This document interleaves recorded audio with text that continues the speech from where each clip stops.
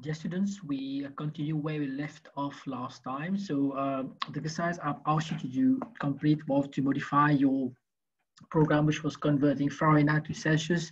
And you first, uh, you calculate the formula now by multiplying by five over nine separately. So in parentheses and see what output you get. So now I'm just going to quick shift to dev C++ to show you the outcome you, you're going to get. So I'm just going to uh, share the screen for dev C++.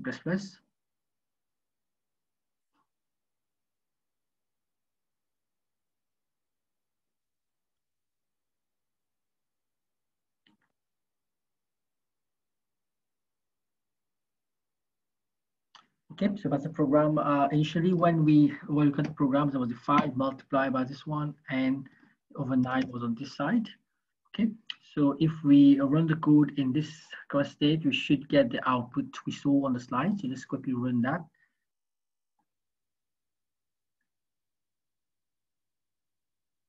I'm just going to share you the output screen now, and you can see uh, this is what we got earlier since we are using here integer variables, of course, we're not going to obtain decimal point numbers for temperatures in Celsius.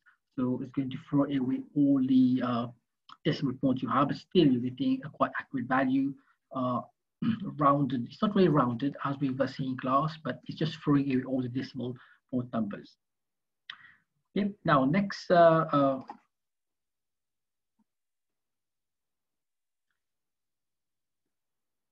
exercise I asked you to do was uh, try to uh, change the formula. So I'll just do that again in the specific to show you. So what I, I was meaning was if we do such a change now, we multiply by uh, 5, 5 by 9 here. So it's basically the same mathematical formula. If you look at this uh, as a formula, it should do exactly the same thing. But if you run your code now, the brain program exactly the same. If you run the code now and let me share the screen to you.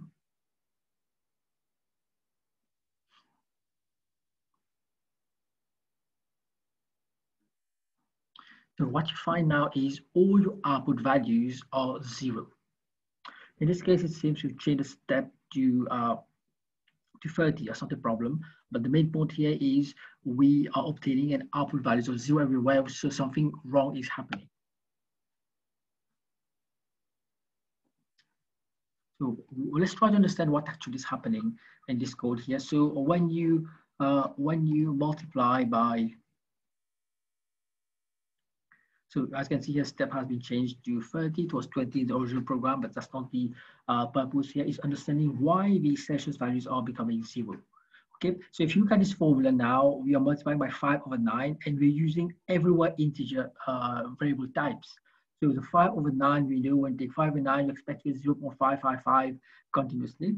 So because an integer that is being used now, an integer calculation, so you would round off this 5 over 9 to 0. This is why for every value you put for FHR, you would typically get 0.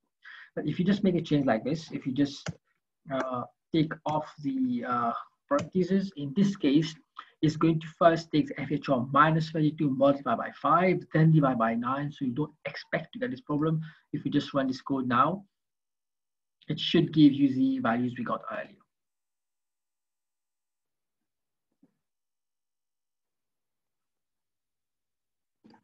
So just share the output screen with you. So this is what we're getting now as expected. Okay, so important you understand when you're doing computations with integers, you're typically losing uh, decimal point numbers. Now, a very easy way out of this, if I just shift the lecture uh, slides now, a straightforward way for us, if you're dealing with uh, temperature values, you would typically want to have some better accuracy in your values. You don't want to just throw your decimal point numbers. So in that case, if you move ahead, you would want to use a variable type, which allows you to uh, store more decimal places. Now, before we do that, in the format specifier, which uh, we have used before, so percentage D, percentage D, as clear, we've discussed that when you use input of these format specifiers for integers, percentage D, percentage D, you're typically displaying the values of variables. Now, when you start adding this uh, length on format specifier like 3D and 6D, you're saying now on the screen when you want to display the value of FHR, reserve three placeholders for me. Okay, in a few minutes we'll run the code and see what happens. Whereas for Celsius, you're saying reserve six placeholders for. So if you typically do that, you would get right justified values. So if we just make uh, this uh, change in our code,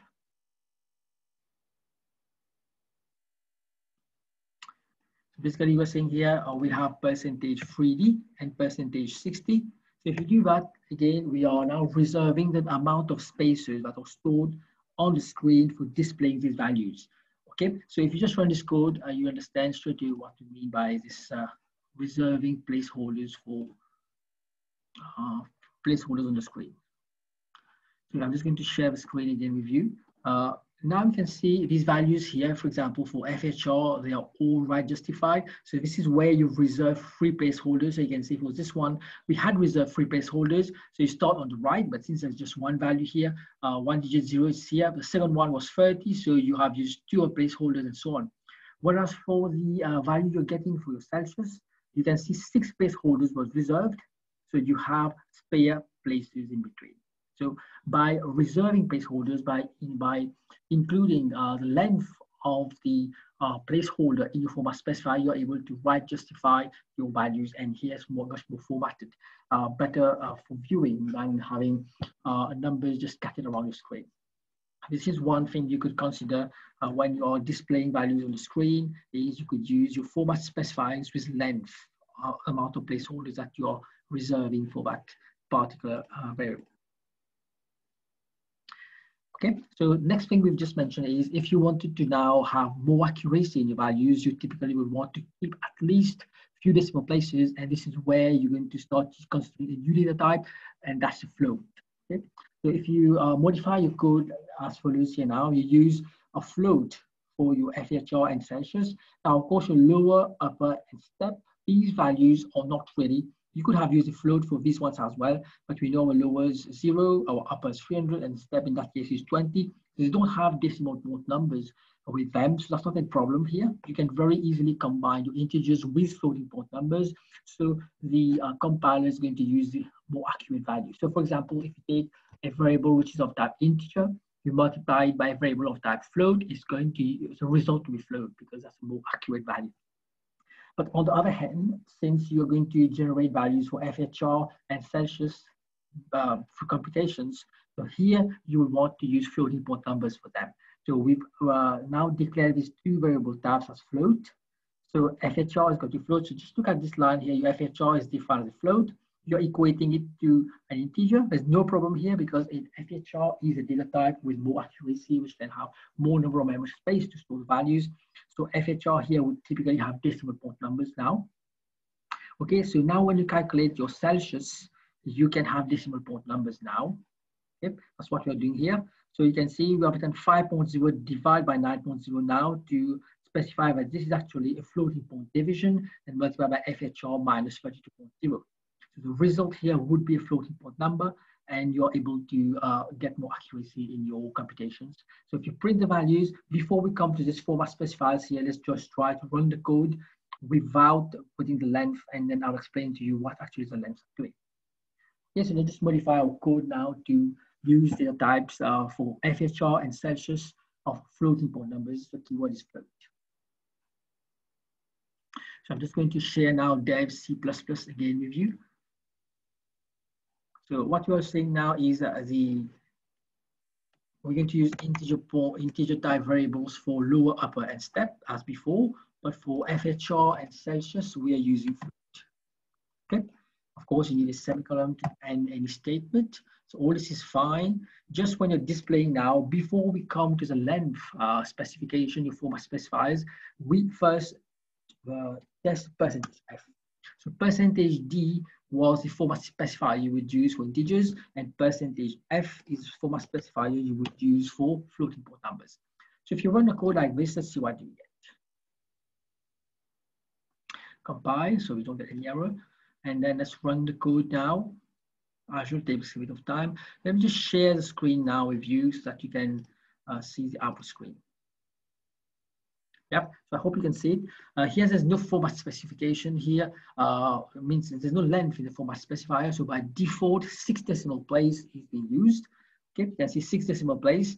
So your uh, your FHR value is actually 0, 30, 60, but being of floating point numbers, we have actually six decimal point numbers. And now you can see your computations is much more accurate. You are now having more decimal places. So by default, if you use percentage F, are six decimal point numbers. This is programming your compiler. Now, if you want to have a, better formatted output, this is where you start using uh, length in format specification. Let's just see how this works. Let's shift back to your slides and and explain what do you find in your code as shown in the slides. Let's look at this line here. Yep, while you're doing your printf, so percentage F, percentage F is clear because your two variables there, FHR and Celsius, are floating point numbers. So you would, you use percentage F. Now, when we saw the uh, length specifications uh, previously in your uh, for for integers, we just had one number. It was six, three and six before, where we were specifying the number of placeholders. For floating point numbers, you have dot and then another number. This is simply saying to us, I want how many decimal point numbers do I want to represent in that number. So the free there is saying reserve free placeholders for the variable FHR. And point zero is saying, I don't want to display any decimal point numbers. So here, for the first value being displayed, we should not get any decimal point numbers. For the second one being displayed now, we're saying reserve six placeholders, so it's going to be right justified, like you've seen, and you're saying you want to display the numbers with only one decimal point. You could put two here, you could put three. We say by default is six. Let's just quickly make this change here uh, and see what difference it makes. So I'm going sharing dev C++ with you. So now the first one we're saying, let's put it percentage 3.0f. So this one is saying reserve three decimal places. Uh, okay, uh, reserve three decimal places for your, uh, for your first variable. And then the second variable here, we're saying reserve six uh, placeholders, but I want to display only one decimal point. you could put percentage uh, 6.2f, percentage 6.3f, depending on your requirement. Now you can ask why we're using uh, 0.0 here, f for FHR, but we know FHR is going to be zero, in this case 30.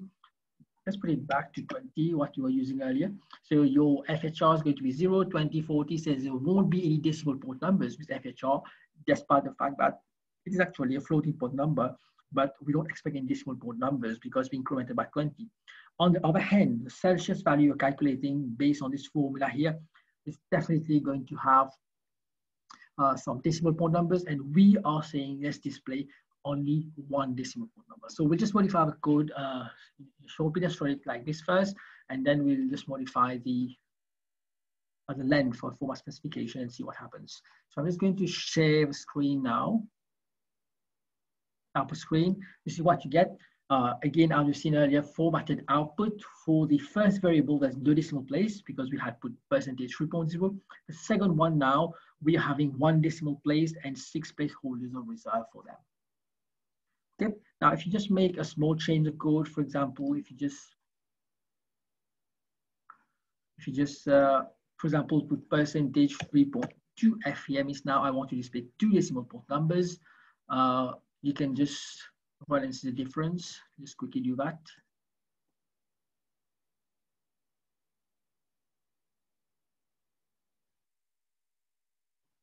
Okay, I'm just showing the output screen again. So this is what you get now. As expected, you have two decimal places now being displayed and you have six placeholders.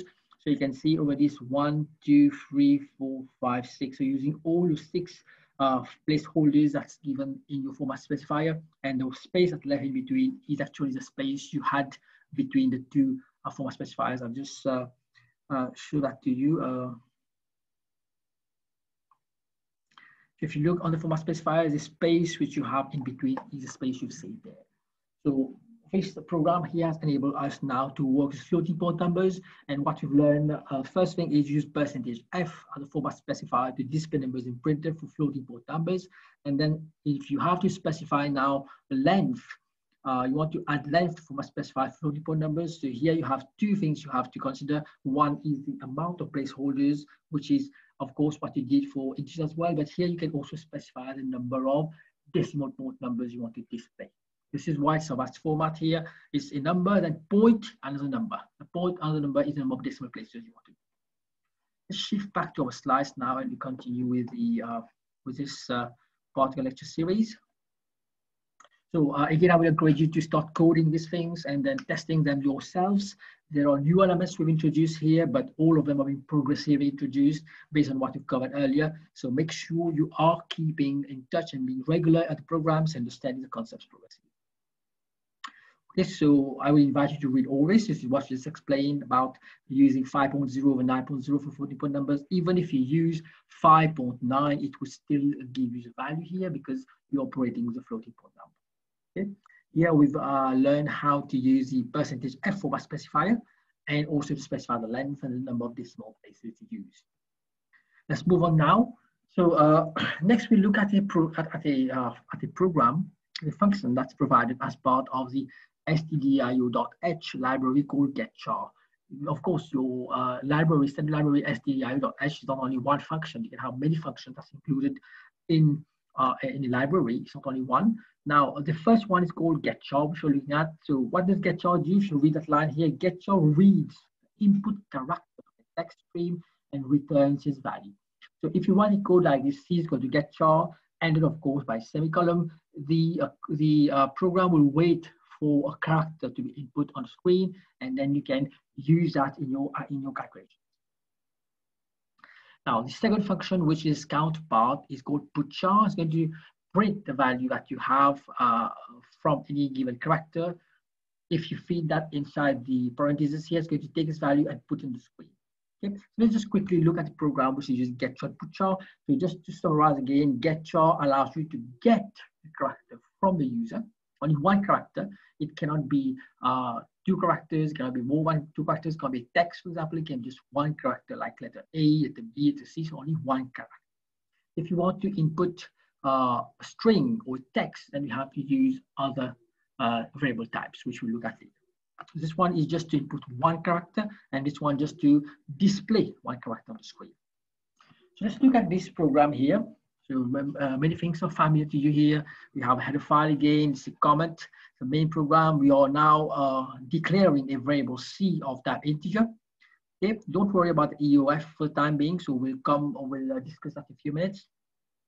So this code is simply declaring first a variable C and then C is going to get char is going to, uh, when you get that the function get char is going to now on the output screen, wait for the user to input the value. When you press enter, that value you have entered, that character you have entered actually is going to be saved in your C level. Okay, now let's look at this line here. We've studied the while loop already quite at length. So we've seen that before. So we know inside a while loop in the parentheses here, as long as this statement here, which is being evaluated is true, we're going to keep running the while loop. The while loop starts from here and. So first step is as long as this uh, evaluation you have of this expression that you have C and so on is true, as long as this is true, the code will keep running. When this becomes false, then the while loop will end and then you come here and you end your program. So this, uh, this is an opening parenthesis for your main program and this is a closing parenthesis for your main program and it's an opening uh, curly brace for your while loop and it ends here. So as long as this condition is true, it's going to evaluate these two lines. Okay, now let's look a bit in more detail. What is the EOF? So EOF stands for end of file and is an integer defined in stdio.h. So the EOF is a reserved keyword, is defined in your stdio.h library and it stands for end of file. So it typically demarcates, it typically is used to end a file, text file. This is what's actually appended at the end of your text file when you press close, when you save in Word, for example. So how this can be created on the keyboard, if you press Control Z, so Control Z on the keyboard, this is creating the uh, the, the EOF, the end of file character. So only one character. Yep. So it is used in programs to open and read text files to know when the file content ends. For example, if you open a text file and you want to keep reading the file until all the, uh, the input, the content of that file is, over, is read completely, at the end, you have end of file character, which is typically invisible. So you can keep reading the file until you reach the end of file uh, character. So this is the purpose of this end of file character is defined in your stdio.h again library file and it can be created by pressing Ctrl Z on your on your keyboard. So now if you understood, if we come back to this one, so what is EOF here is simply a character. So uh, what is this C is going to get char means you are asking the user to input a value. So once you input the value, let's say at this point here, you input the value, let me just annotate it. Let's say when and, and at this point here, when you have C is going to get char on the screen, you input the value of A, character A, and then you press enter. Okay, so at this point, this A here is stored in C. Okay, now, next line, when you reach here, then the while loop will be evaluated. The expression inside the while loop will be evaluated. It's saying while this C value is not equal to an of file. Now, since you've included, you've uh, input an A here. Now, this uh, symbol you find here, if I draw it a bit big, it's like this. Because this means not equal to. Not equal. If you wanted to check are these equal, then you would use 2 equal to here. So a difference between something like this with one equal to is called an assignment. So whatever you are inputting from your function, you are assigning to C you use only one input when you're assigning a value to a variable. If you want to check whether two values are equal, then you use two equal to. So the outcome of this uh, comparison can be false or true. Similarly, when you're comparing if two if two uh, variables or two values are the same, when you use this uh, symbol here for comparison, the outcome would be either false or it's true. Okay. So at this point here, let's again come back to our program. So we let's say we've input C, a value of A here inside. So C is equal to A at this point. Then we are saying while a is not equal to n of file, definitely your uh, value of A is not the n of file. N of file we say is when you when you type control and then Z, you're going to get the n of file character. So you've done, done that. So it means this is true now. Your A is not equal to this one. So this is this, this when you evaluate the expression here, you get it true. As long as the while loop is true, you will run this true. So when this line is found to be true, it goes inside the while loop and then say put chassis so it's going to display the value of A on the screen. And then again, you have a repetition for get char. So it's going to again run get char and ask the user for a new value that can be input. So let's say at this point, we input the value of B, the second get char. We type enter. So now uh, a value of C is B. So we're checking now, is B not equal to an file? Again, that's true. So again, it's going to display the value of uh, be on the screen and ask for a new value. So this program is going to keep asking the user for, for many characters until you reach a stage where you press your control C. When you press control C here, when this get char is run, this get char will not be run many times because it's outside the while loop. It is running once, whereas whatever you find inside the curly braces here will run repetitively as long as this condition is. So at one point when you have C is going to get char, let's say now you press Control Z, enter. So now uh, Control Z enter is going to create an of file, an of file for your value of C. So you're saying is n of file not equal to n of file? But it's false now because n of file is equal to n of file. So when this becomes false here, you don't execute, you don't print the value, you just exit and come out of this and then you and you. Yep, so I would encourage you to just write a small piece of code here and try to run it. So basically I've explained to you what the code does. It's going to uh, request for a character from the user. And as long as you don't press Control Z, if you press any other value like A, B, C, D, and so on, it's going to keep displaying this value in the screen to you until you actually uh, press Control Z and then you uh, Yep, so let's continue here. This explanation which I've just uh, given to you.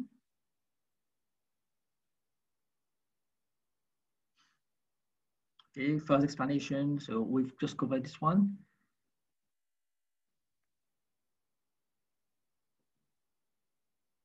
Okay, so this is uh, a more concise way you can write the code we've just uh, written. Remember, when we wrote this code um, earlier, that C is going to get char was actually one C is going to get char was outside the while loop, so that you get a value when you are actually stepping inside the while loop. And then inside the while loop, you had to actually get a, a new value for C, so you had to repeat a get char. If you don't request a new value uh, using get char inside your while loops, then you end up having an infinite loop because you're not updating your value. Just like for the temperature program we had, if your FHR initially is zero and then inside your while loop you don't update the value to 20, 40 and so on, then you have an infinite loop where your FHR just stuck on a value of zero. So again, uh, if I just annotate again, uh, we had a get char here and then a get char here. So this is a more concise way of writing your program here, where when you step inside the while loop, you actually ask the program to get a value for C first. So this one is C is going to get char. Can you see how a parenthesis here and, a, and this parenthesis here? This is the function called get char. So before you can evaluate C against the end of file character, you are first asking for a new value. So once you get the new value, then you compare. Then if that is condition is true, you put it on the screen, and then you go back in the while loop, you request for a new value. It's a more concise, more compact way of writing your code where you don't have to repeat codes here. So as you develop proficiency, you would be able to write codes using more compact forms. Uh, I'm not saying this code is wrong, which is perfectly fine, but in the code, in the in the version we've just seen, you are now putting that get char inside your while loop itself, the expression for the while loop evaluation, and there your code becomes more compact. So as you go along, you'll become proficient in writing this type of concept. Now, uh, another important observation that you find in this part of the construct here is you don't find any curly braces for your while loop. Yes, you have a curly brace for your start of your main and end of your main, but the while loop now doesn't have any curly brace. Why so? If you have only one statement that is attached to your while loop, you don't need to put any curly brace. It's very important observation. When you're writing a piece of code, if you don't have more than one statement attached to your while loop, then you don't need to put curly braces. If you look at the earlier version we had, since you here you have one and two statements which are attached to that while loop, you need to put these curly braces. In this program here, if you omit the curly braces, only the put char is going to be attached here, and again you get an infinite loop because you're not updating the value. In that case here, these two statements need to be attached to your while loop. This is why we definitely need the curly braces. Whereas in this version, we've just seen where it's more compact here. Since the get char now is inside the expression itself, only this one single statement is attached to while loop, you don't need curly braces. So important observation.